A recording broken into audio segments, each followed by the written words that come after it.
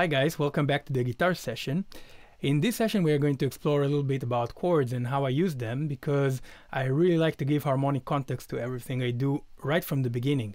It's great for the compositional process, for arrangement, and for even performance and improvisation using inversions, etc. etc. And uh, especially I'm into chords which are triads like minor, major, augmented, diminished with some really strange sounding or cool sounding bass roots. And I'll give you an example for this session. We will talk about a major triad with a flat 9 root and it sounds like this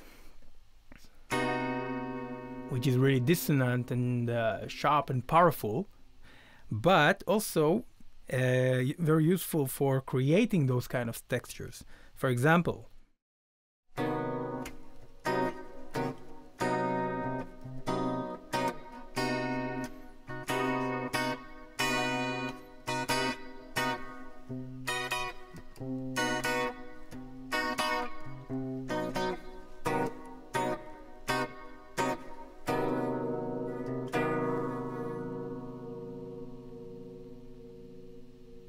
So if we use this chord, B with a C bass, we definitely should be aware that there is a great contrast between those two elements and they should be used when we want to create this kind of tension with this kind of musical contrast.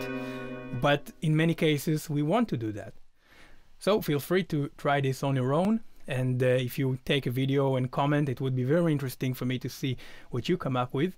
As always, questions and comments are welcome, and I'll see you next time at the next guitar session. For now, bye bye.